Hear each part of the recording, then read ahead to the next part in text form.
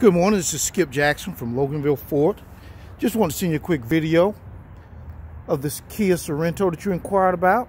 The vehicle is here. It's ready for test drive and purchase. Want to answer all the questions you may have about it and set up a time for you to come out and see it. So please give me a call at 678 578 9390 and that's Skip Jackson with Loganville Ford. We're open from 9 in the morning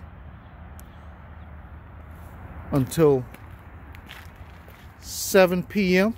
And starting next month, Monday through Friday, we will be open until 8 p.m.